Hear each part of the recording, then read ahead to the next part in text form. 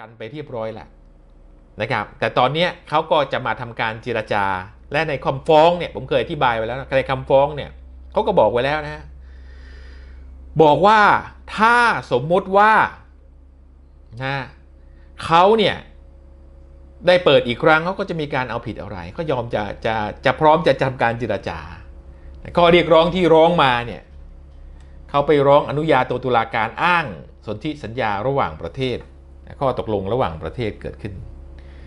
ก็อย่างที่ผมเคยเรียนนะฮะที่ผ่านมาสหรัฐอเมริกาอังกฤษออสเตรเลียเข้ามามีอิทธิพลในประเทศไทย แร่ธาตุเหมืองทองน้ำมันของประเทศไทยจึงตกเป็นของฝรั่งเหมืองทองก็เช่นเดียวกันนะครับสิ่ง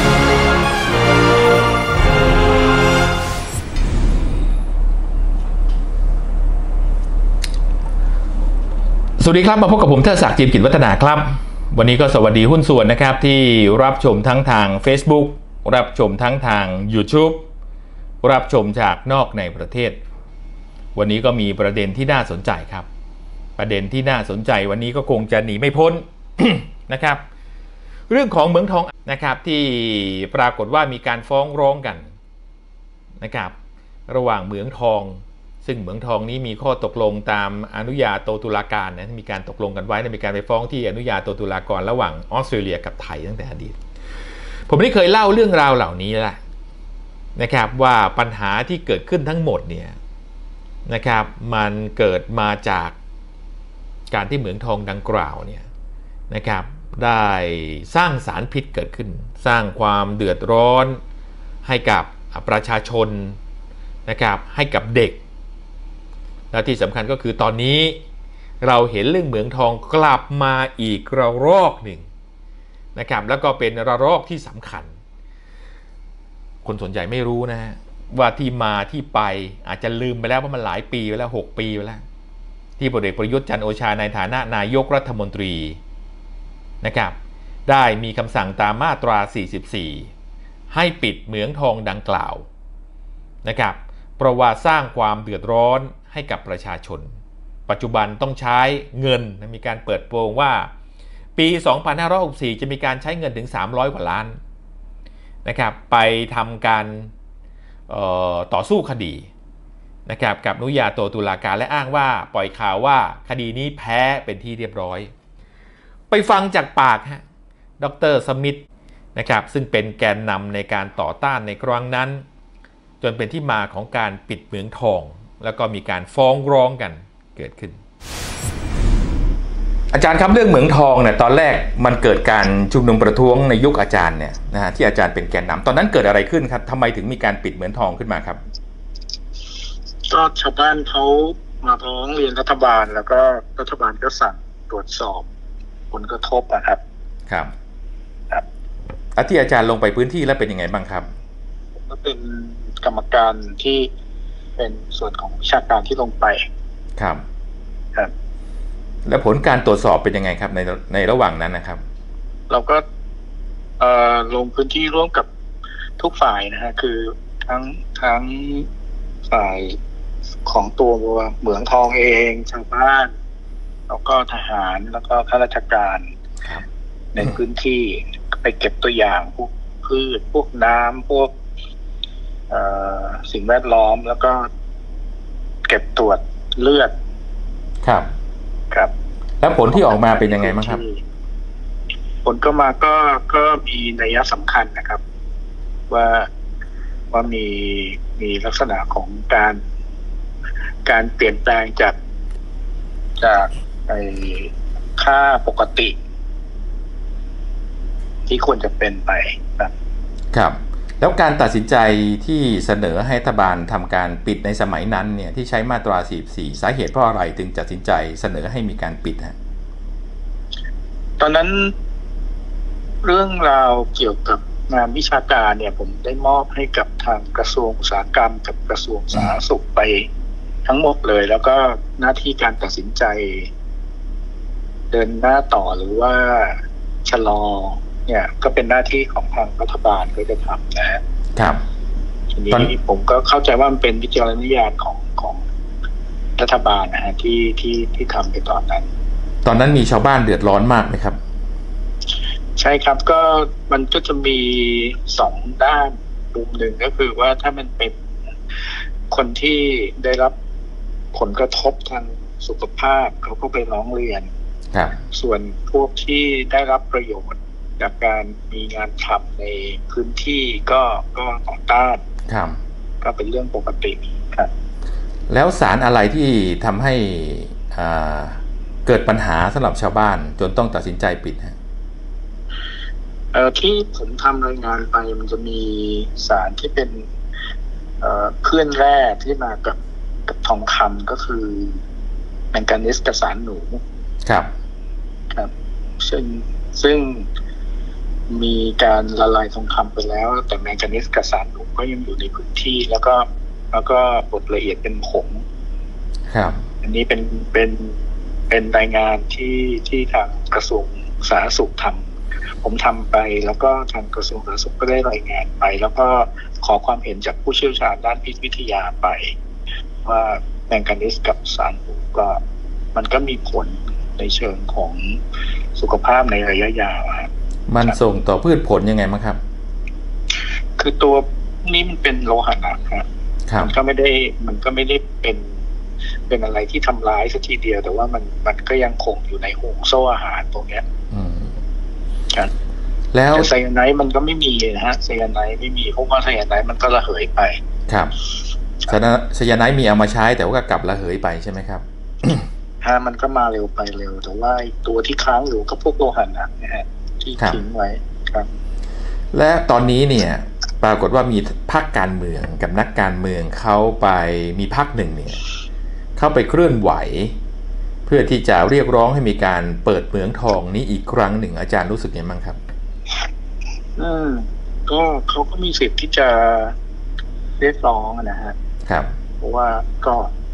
ก็ก็ทำหน้าที่ของเขาไป แต่ว่าถ้าเอาข้อเท็จจริงมา มาดูกันแล้วเนี่ย มันก็จะพบประเด็นที่ที่ไม่ควรไม่ควรจะเดินหน้าต่อครับหลายประการนะครับอืมมากกว่าที่จะเดินหน้าต่อทีนี้ในเรื่องพวกนี้เนี่ยมันเป็นประเด็นทางทางวิทยาศาสตร์ ซึ่งไม่ควรจะดึงเอามาเป็นประเด็นทางการเมืองอืมคือมันมีมันมีไอเอ่อประเด็น ที่ชี้ชัดอยู่แล้ว แล้วก็มันมีความเสี่ยง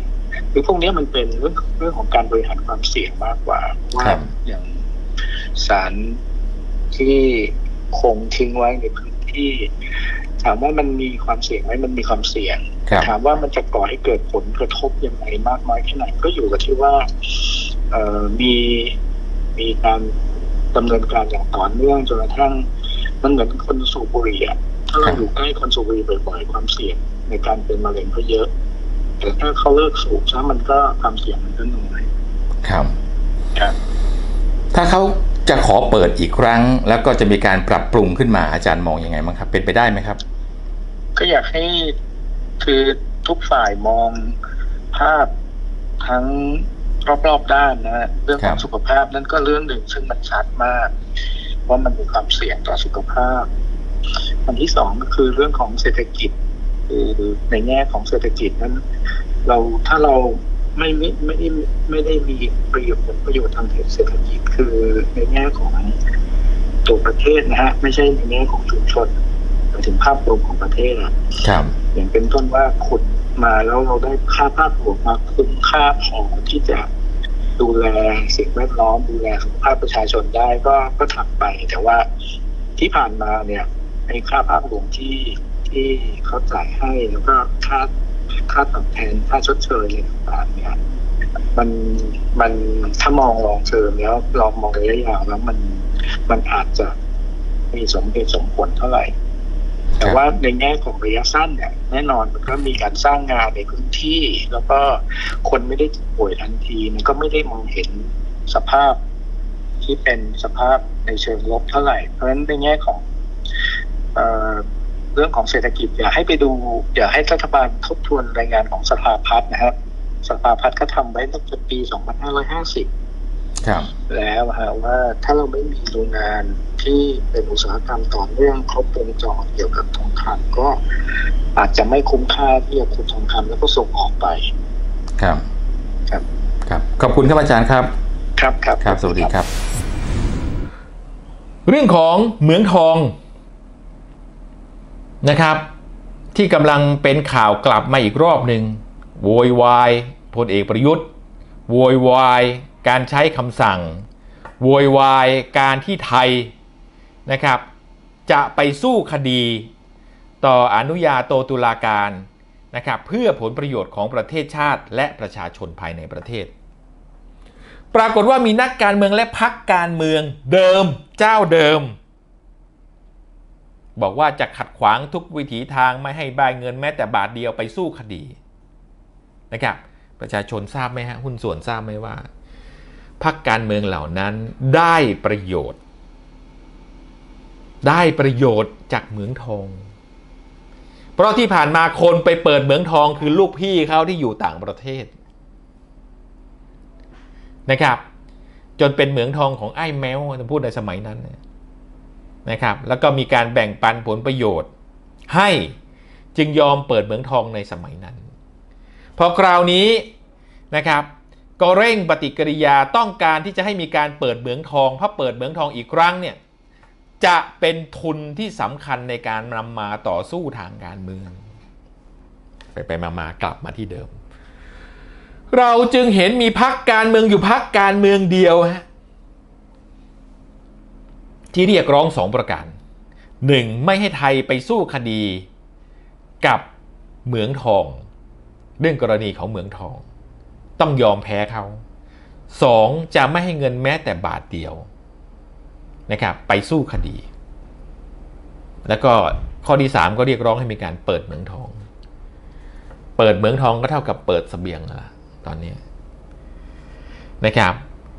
เรื่องเหมืองทองจึงกลับมาเป็นประเด็น เป็นละลอกละลอกแล้วก็ปล่อยข่าวว่ารัฐบาลแพ้แล้วต้องจ่ายเงินถึง 4 0,000 ล้าน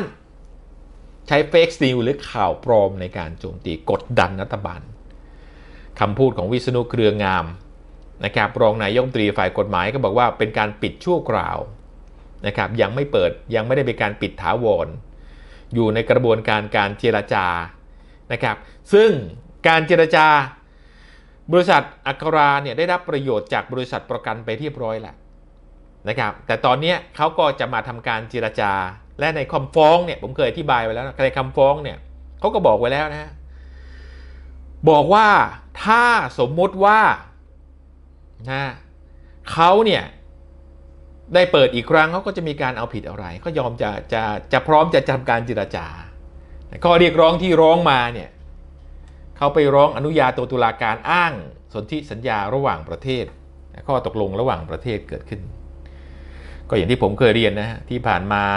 สหรัฐอเมริกาอังกฤษออสเตรเลียเข้ามามีอิทธิพลในประเทศไทย แร่ธาตุเหมืองทองน้ำมันของประเทศไทยจึงตกเป็นของฝรั่งเหมืองทองก็เช่นเดียวกันนะครับ สิ่งวันนี้เวลาดูข่าวต้องดูให้ลึกดูให้ลึกซึ้งบอกเงินสามร้อยกว่าล้านเนี่ยที่ไปสู้คดีเนี่ยมันสู้เพื่อใครอะ บางคนก็ตีย้อนกลับ สู้เพื่อใครก็พลเอกประยุทธ์บอกรับผิดชอบแต่เพียงผู้เดียวก็รับผิดชอบพลเอกประยุทธ์ก็เป็นอยู่เขาก็ไปร้องไงเขาก็ไปสู้คดี ก็ส่งทีมทนายความไปสู้คดี แต่ประเด็นคือการปิดเหมืองทองใครได้ประโยชน์อะคนไทยได้ประโยชน์ไม่ใช่เหรอชาวบ้านที่อยู่ในพื้นที่ไม่ต้องติดสารพิษไม่ใช่เหรอใช่ไหมฮะนี่คนไทยได้ประโยชน์ แต่เว้นแต่อะไรทราบไหมฮะในประเทศอื่นๆเหมืองทองเขาปิดหมดละเว้นแต่อะไร เว้นแต่เขามีการปรับปรุงคุณภาพนะครับให้พัฒนายิ่งขึ้นไม่มีการใช้สารอันตราย บางพื้นที่แม่น้ำเนี่ยกลายเป็นแม่น้ำแห่งสารพิษ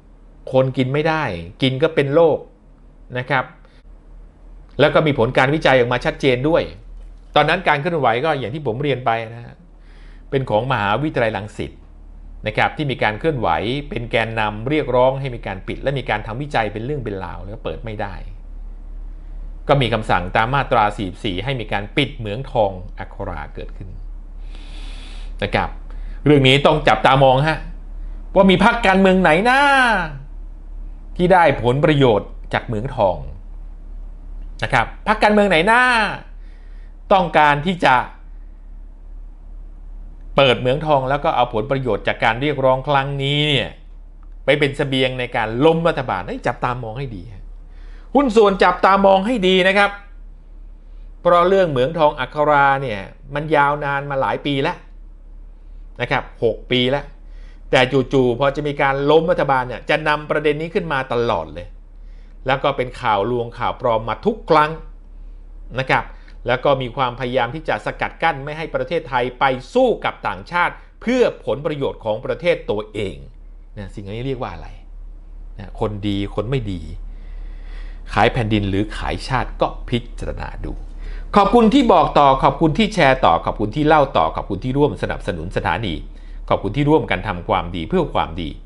ผมเทอศักดิ์เกียรติกิจวัฒนา สวัสดีครับ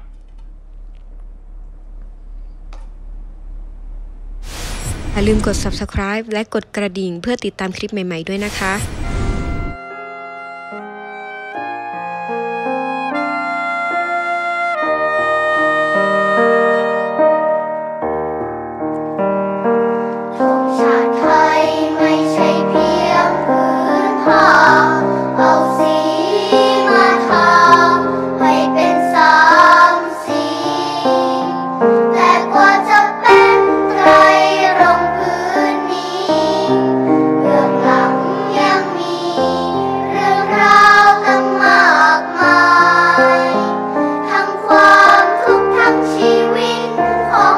สำ